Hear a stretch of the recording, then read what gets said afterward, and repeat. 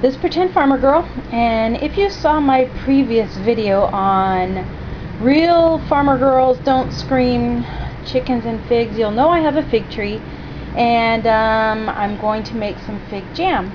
Um, I have never liked figs but there's something about these figs I absolutely love. I just have been picking them and eating them off of the tree and obviously my chickens love it and Marvin so um, anyway, they're really, really sweet.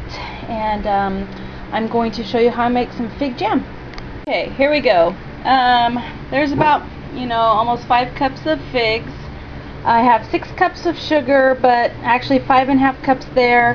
And a half cup here with one um, packet of the um, pectin. So the recipe that I'm using is where you you mix about a quarter cup of the sugar with the pectin and that's what you add to the figs with the water and um, the lemon juice um, to start with. And um, I'm going to get on the stove and get going. What do you have to say?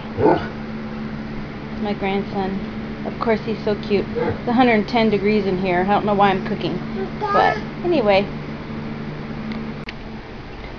Okay I'm adding that quarter cup of sugar with the um, pectin in it, half cup of water, and a quarter cup of lemon juice. And I'm just going to bring this to a, mix it up, bring it to a boil, and then I will add the rest of the sugar.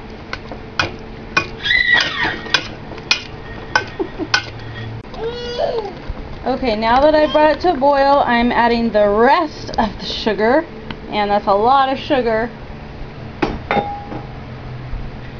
I'm going to go ahead and mix it all up and then I'm going to bring it to um, the full rolling boil. Full rolling boil.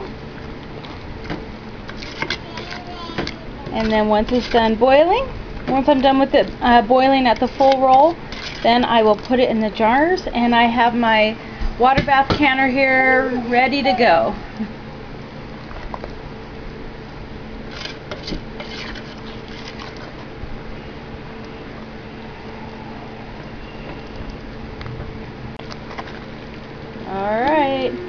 full rolling boil. Um, the foam on the top really doesn't bother me much. Um, usually it seems by the time it, it cools down I put it in the jars, it kind of goes away. I did not put any, um, you know, oil or butter in it, but um, so I'm just going to turn this off and get it in the jars. There you have it. Five pints of fig jam. Um, the lids, lids are just starting to pop and that was really simple. I love it when I can have free fruit and turn it into something even though it used six um, six cups of sugar it's still way way cheaper than going out and buying jam. So this is Pretend Farmer Girl and my adorable grandson signing out. Say bye bye. Say bye bye. Bye bye.